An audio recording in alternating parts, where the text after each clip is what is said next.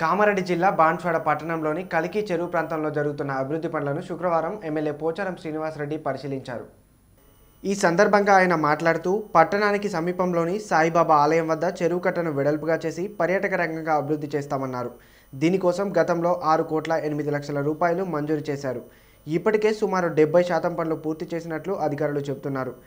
పనులు ఆలస్యంగా కొనసాగుతుండడంతో ఎమ్మెల్యే పోచారం అధికారులపై ఆగ్రహం వ్యక్తం చేశారు. మిగిలిన పనులను త్వరగా పూర్తి చేయాలని అధికారులను ఆదేశించారు.